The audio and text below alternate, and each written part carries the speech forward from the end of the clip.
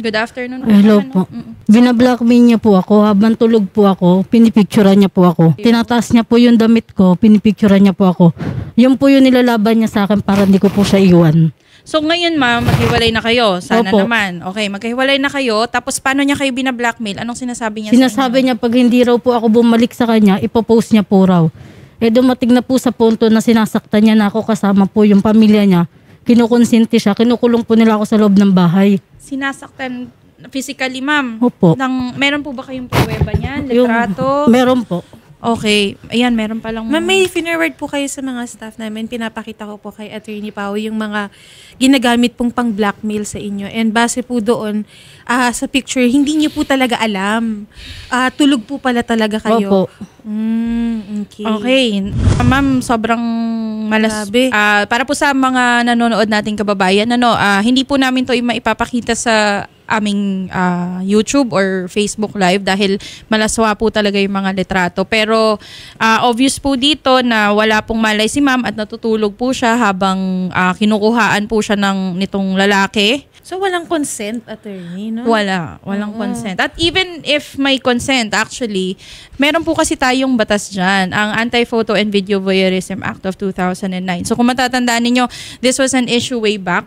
Ah, nauso po kasi yung nagpapakalat ng mga video, ng mga photo, ng mga girlfriend, boyfriend. Halimbawa, nag-send ka ng nude pic sa iyong boyfriend or yung boyfriend mo din, ganun sa iyo. Tapos gagamitin ng pang blackmail. So kaya po nagkaroon ng naisaba, naisabatas itong Anti-Photo and Video Voyeurism Act of 2009. So sa ilalim po ng batas na ito, ah, bawal po ang pagkuha, lalo na po sa masaselang bahagi ng ating mga katawan. Ano, kagaya ho nung nasa litrato niyo, ma'am. Ano po, ma'am? Kinuhaan kayo sa breast, Yung sa ibang Facebook ko parts. po, hinak Mm-mm. po niya kasi nga po gusto niya, bibigay niya lang po daw yung Facebook ko pag pumayag ako makipag-hotel. So, hinak pa niya. Opo, yung Facebook ko. Nako, patong-patong na reklamo po ang maaari niyong maisampa sa kanya, ma'am. Nagsahain na po ba kayo ng reklamo sa barangay or sa kahit saan Sa pong, barangay po, ano? nag-hearing po kami. Mm. Kaso nga po, ginagawa niya po yung bouncy po, inuutusan niya po na gumawa ng kasulatan habang ako nakakulong sa loob ng bahay. Paano po yun, ma'am? Paki-explain po sa amin. Paano Yung- inutusan na gumawa, no? Pumunta po, kasi po nung nakaraan po, may kinuha po ako sa barangay, yung BPO po, yung... Mm-hmm. Barangay Protection Order, ma'am. Opo. Kumuha po ako noon, tapos sinabi po sa akin ng bouncy na pumunta po daw dun si Michael Lawrence. Mm. Sinuutusan po daw sila na gumawa ng kasulatan na i-stop na yung kaso. Pero wala po akong inuutos. Okay, pero hindi naman sila nag-issue. Hindi naman po. Okay, so tuloy po ang kaso natin.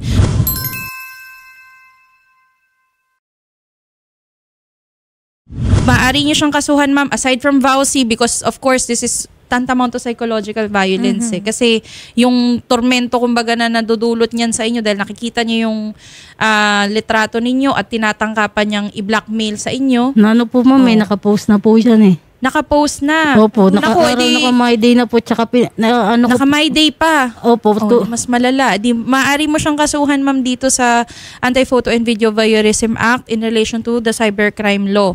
Para po maliwanagan tayo sa investigasyon ng ganitong mga kaso, no? Nasa linya din po natin si Efren, Sir Efren Abantao, ang Executive Officer ng NBI Cybercrime Division. Magandang hapon po, Sir Efren. Magandang hapon din po. Yes, magandang hapon po. Sir, ako po si Attorney Pau Cruz ng ACT-CIS Party List at live po tayo ngayon dito sa Wanted sa Radyo. Nandito po ang ating complainant, si Ma'am Arian Joy Cruz. Ah, siya po ay dating may kinakasama or boyfriend at ito pong boyfriend niya, sir, ikinuhaan po siya ng mga malalaswang litrato. Tapos, according to Ma'am Arian, na my day na niya, na i-post na niya. Tapos, hinak pa daw po yung Facebook ni Ma'am Arian Joy. So, ano po ba ang magandang gawin ni Ma'am Arian Joy, sir, para masimulan na po niya ang kanyang paghahain ng reklamo? Ma'am, ah, dapat makapag-file din po siya. It's either sa amin po, sa Cybercrime Division or sa PNP, po. pwede rin naman po. Mhm. And ah, dapat ma-document na rin niya yung mga ah, ebidensya kagaya ng My Day. Dapat baka kasi alisin agad ng ah, ating ah, respondent or ah, yung suspect natin. Baka alisin agad niya yung nakalagay dun sa My Day. Mhm. So, kailangan Yes, ma-screenshot na niya, kumbaga. Na-screenshot mo Yes, naman, ma'am. ma'am. Dapat ma- ma-document na niya yun, Mhm. makuha na niya yung mga ebidensya, Mhm. and sana makakuha rin siya kung may mga witness na makakakita noon. Mhm. Ganun po. Mhm. And ah, tama naman po na papasok din po dito yung sa Bausi. And ibang kaso lang din po yung tungkol sa hacking. Kung Tama. may hacking din po ng Facebook niya, Mhm. ah, kaya lang kailangan po nating patunayan na talaga bang hinak or talagang nagsishare kayo dati ng password ng iyong Facebook account. Ma'am Arian, i-explain mo kay Sir Efren, ano ba, nag-share ba kayo or talagang hinak yan? Hindi po, yung cellphone ko po kinuha niya. Bawal po ako umuwi sa bahay namin nang hindi ko binibigay sa kanya yung cellphone. Eh, nung time na po yun, kinulong niya po ako ng June 25. Mm-mm. Inisip ko na lang po na bahala na yung cellphone sa kanya basta ako makauwi na ako sa amin. Mhm. Eh, yung Facebook ko po nandun, pinalitan niya, pinasok niya po yung email. Nung pinapalitan ko na po ng password, nung binubuksan ko po siya, tapos papalitan ko sana ng password, Mm-mm. hindi ko na po siya ma-open. Tapos inano niya po ako, nasa conversation po namin na ibibigay niya lang po daw yung Facebook ko kung papayag akong makipag-hotel sa kanya. So hanggang ngayon, ma'am, yung cellphone nyo nasa kanya pa Nasa din. kanya pa rin At po. yung Facebook account nyo, siya pa Nasa din ka- ang may opo. access. Yun, Sir Efren, ayun daw po ang nangyari. Um, kinuha yung cellphone ng sapilitan at doon na po pinalitan yung password at kung ano-ano na po ang pinagpo-post din doon sa Facebook ah, page po ni Ma'am Arian. Ah, yes, ma'am. Ah, magandang ah, ebidensya po yung makukuha natin yung sa conversation, i-document na rin niya. Mhm. Dahil di ba ang conversation sa Facebook na po pwedeng i-delete ng kausap? Tama, oo. Ngayon Yes, yata, sir, maaari na kaagad. Mm-mm. Bukod po, Yes, sir, ma'am. sa screenshot ng mga conversations nila ni Michael Lawrence Villafuerte, ano pa po ang maaaring dalhin na matibay na ebidensya ni Ma'am Arian para po wala na pong kawala itong si Sir Lawrence? Ah, actually, ah, sabi niya nga po, ah, yung cellphone niya nandun naman sa kinakasama niya. Ah, siguro, dapat sana ma-recover din natin yan. Mhm. Pagka na ano ba sir, maaari po bang uh, imbis, 'di ba meron kayo sir yung forensic investigation sa mga cellphone, Yes, may mga ganun na pong teknolohiya ang ating NBI Cybercrime Division sa Yes, ganyan eh. ma'am. So pagka Yes, nakuha na namin sir ang kanyang cellphone, maaari nating isubmit for forensic investigation ang kanyang account para po mapatunayan or mapakita na meron pong nag-access other than her. Tama po ba? Yung sa cellphone po, ah, yung yung sa pag-access po, yung sa forensic, ah, ang i-examine po kasi natin diyan yung mismong device. Mhm. So makikita doon sa device kung may activity. Kung yung ah, device naman ni ma'am ang ginamit sa pag-access doon, ah, which is talaga namang nandun sa device niya na yun yung ah, Facebook. Mhm. Ang ah, kailangan lang po natin maging challenge dito is to prove na ibang tao ang may hawak ng cellphone niya during that time. Tama. Okay. Sige, siguro naman yung part na yun, ma'am, dahil pasasamahan din po namin kayo para po makuha ninyo yung cellphone ninyo Yung at kung ano pong po gamit. daw, nag-usap Yes po. kasi kami nung nakaraang linggo, Mhm. napasa ko na rin po yung ano, ano, nabenta niya na po daw. Binenta niya na po daw kasi po daw gusto niya akong kalimutan. Tapos ngayon, sabi ko po sa kanya, kung binenta mo, bakit di mo nilog out yung Facebook ko? Bilobat po daw ng binenta niya. Okay. Ang dami ng dahilan nung lalaki. May kaso po siyang rape. May kaso siyang rape before. Sige, ganito Sir Efren, ano, ah, dahil kayo po ang expert talaga dito sa pagdating sa mga cybercrime na sinasabi, kami po ay humihingi ng tulong na maihain po ang complaint laban po kay ah, Sir Michael Lawrence Villafuerte dito po sa kanyang ah, pagpo-post sa Facebook ng mga malalaswang litrato. So violation po yan ng Anti-Photo and Video Voyeurism Act. At pati na rin po yung pag-hack or pagkuha po niya ng Facebook account ni Ma'am Arian Joy. Ah, makikipag-coordinate po kami sa inyo para po makapag-schedule kami sir ng pagpunta ni Ma'am Arian Joy dyan at kung maaari po ay makuhaan siya ng kanyang statement para po maihain na ang reklamo. Yes, ma'am. Ah, we are willing to wait naman po. Okay po, sir. So aside from the photos and the personal appearance of uh, Ma'am Arian Joy, is there anything else, sir, na mala- maaari po niyang madala para po makumpleto niya ang kanyang reklamo? Ah, kung ano po ang available na evidence na nasa kanya, mas maganda dali na rin po niya. Ayun. So ma'am, lahat ng litrato mo, screenshot mo, ah, pati yung My Day, kagaya nung sinabi ni Sir Efren kanina, lahat yon i-prepare mo na, i-print out mo para po lahat. mas matibay ang ebidensya mo laban sa kanya. Sir Efren, ano po ba ang maaaring gawin ng ating mga kababayan? Kasi marami po sa ating mga kababayan ang nakaka-experience nitong identity theft or pagkuha po ng kanilang Facebook account. Ano ano po kayang precaution ang maaari nating masabi sa kanila para po maiwasan ng mga gantong instances? Yung kagaya ng nangyari dito sa sitwasyon ng ating ah, complainant, ma'am, ah, nakita naman nila, ah, sana maiwasan ito ng mga kababayan natin na nanood. Mhm. Kagaya nung pagbibigay niya ng phone.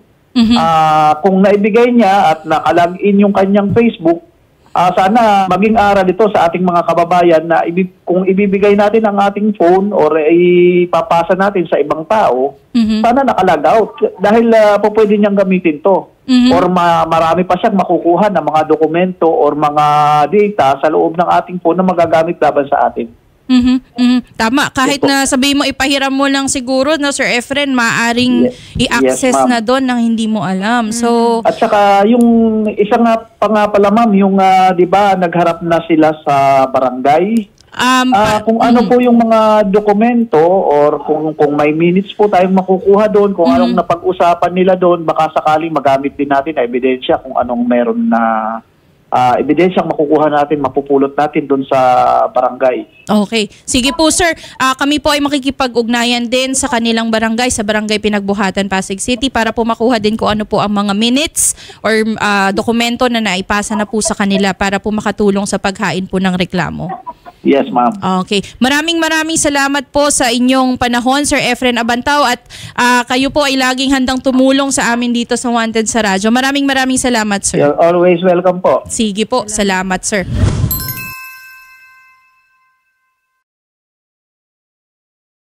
Good afternoon, Ma'am Feli. Yes, ma'am. Yes po, si Attorney Pao Cruz po ito ng AXIS Party List, Ma'am. At nasa tanggapan po ni Senator Raffy ngayon si Ma'am Arian Joy Cruz. At siya po ay nagrereklamo laban po sa kanyang dating boyfriend na si Sir Michael Lawrence Villafuerte. So, nabanggit po kasi Ma'am ni Ma'am Arian kanina na nakapaghain na po siya ng reklamo dyan sa barangay. At in fact, na-issuehan na kayo ng BPO na Ma'am? Opo. Na-issuehan na rin po siya ng BPO.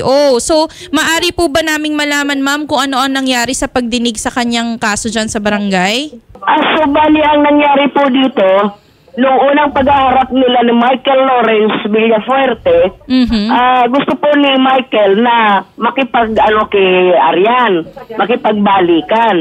So bali si si Arian Joy ayaw na po dahil inano nga po siya kinulong ni Michael sa kwarto. Ay, bukod sa kinulong, ma'am, eh, binastos pa siya. Ne, pinicturan-picturan siya ng nakahubot-hubad siya habang natutulog.